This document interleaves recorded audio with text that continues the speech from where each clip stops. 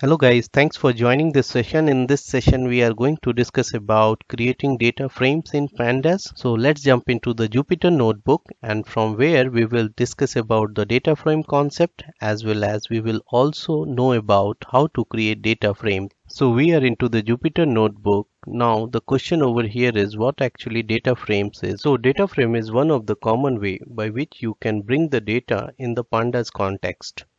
So in this session, we will look into how we can create data frames with different mechanisms. First, we will look into how to create data frames using JSON data. Then we will look into how we can create the same data frames using list. Once we understand that, then we will look into how to create multiple column data frames. Then we will also look into the example where we will use list of JSON data and that we will use to create the data frames and at last we will look into how we can brought in the CSV data within pandas with the help of data frame. So in that aspect we will create data frame from csv so now let's start the exercise. So first we are going to do import of pandas library. To do that i am going to insert by clicking b over here. It will give us this line to provide the input. So i am going to write import pandas as pd shift enter this is one of the standard approach. Whenever you are importing pandas you have to specify pd how we were doing for numpy. When we are importing numpy we were using np so for pandas case we are going to use pd so now it is being imported. Now let's look into how we can create the data frame using json. So here again i will press B then I will get this line over here and I'm going to first create the JSON data. So I'm going to use my favorite example fruit ball. If you have been following my course I'm very fond of fruits. So I'm using this as an example and over here I'm going to keep a column called fruits which will contains different list of fruits.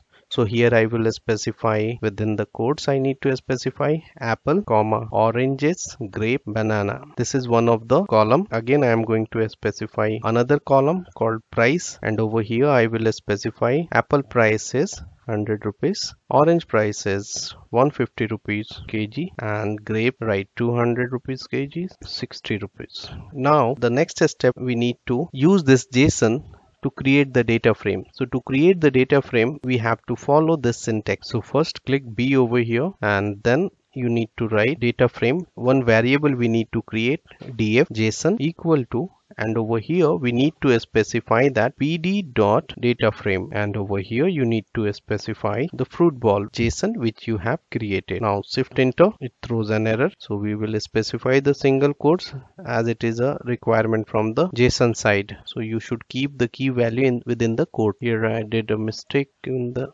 spelling name. Shift enter now. Now you will find that it has created the data frame. So let's verify it. Let's print the data frame over here print dfjson shift enter then you will find that it has created a data frame. Let's check the type over here. Type dfjson shift enter so you will see it over here. It is a data frame. So this is one of the way by which you can create the data frame using JSON data. Now we will do the same thing and we will create the data frames using list. So let's do it. Select this one, press B, then it will give us this one. And over here we will specify a list. We will call it fruit list and uh, and we will tell that apple, orange and grape. Shift into and and here you should write data frame list equal to pd dot data frame and within that you can pass fruit list. And over here you can print it so that we will look into what actually this data frame list contain. And you will see that here we have created a data frame and this data frame doesn't contain any column name. But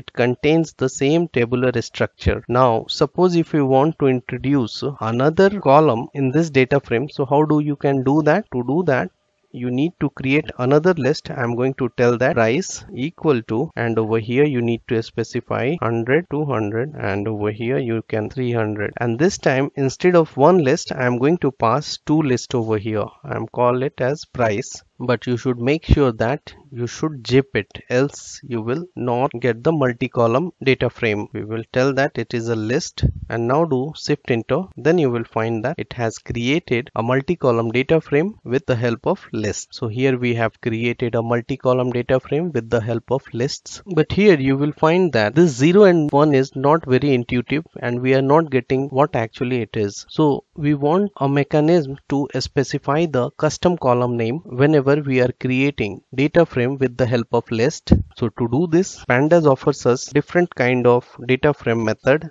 that is overloaded method and this contains two parameter and we will call it columns. And here we will specify the list where we can tell which column is having what name. So for example zeroth column i am going to tell that fruit or say fruits comma and over here we will tell that price. Now press shift enter and you will find that we have specified the custom column name whenever we are creating data frame using list. So now let's proceed further. So we have covered this exercise creating multiple columns data frame now we can directly proceed to number 4 and we will look into how we can create a data frame using list of JSON data. So let's first create list of JSON data. So press B and now over here we will specify list JSON and within list I am going to create JSON so to create JSON, we need to specify the curly braces. So you can specify some multiple curly braces. I am going to create three JSON data over here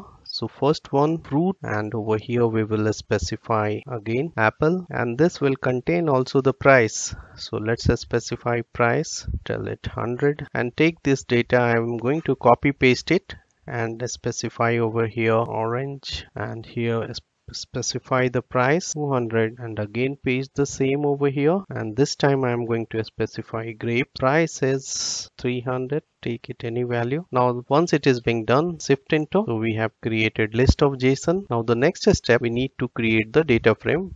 And where we will use this list JSON. So press B over here. And now here we will tell that df list JSON equal to pd.data frame. And within that I'm going to pass list JSON. Let's print this data frame as well print df list json shift enter and you will find that we have created the data frame using list of json data so this is one of the mechanism by which you can create the data frame so now we will look into how to create data frame from CSV. Suppose that if we are having some data and which is residing into the CSV, so how we can bring into pandas context. So let's look into that.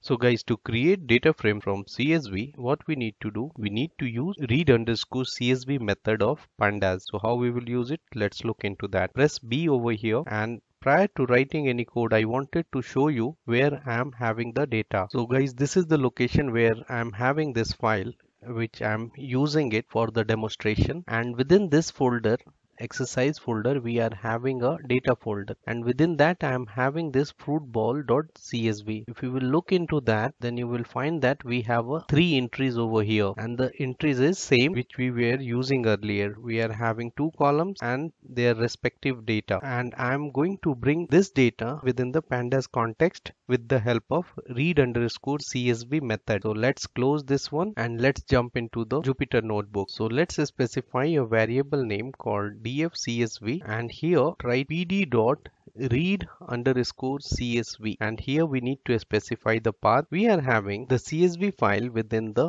data folder. So you need to specify data. And within that we are having fruitball dot csv and here we can print the data frame dfcsv shift enter. Then you will find that it had read this csv data and it has made a data frame. If you will check the type then you will find that it is a data frame so let's check it type and here you need to specify dfcsv shift enter then you will find that it is also a data frame. So this way you can create data frame using csv and this is what i wanted to demonstrate you in this session. See you in the next session. Till then bye bye take care